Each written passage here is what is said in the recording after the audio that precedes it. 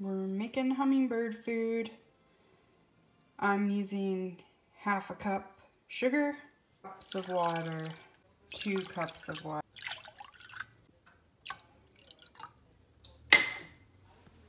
Bring to a boil. Make sure the sugar is dissolved. Remove from heat and let cool. Wait for the hummingbirds.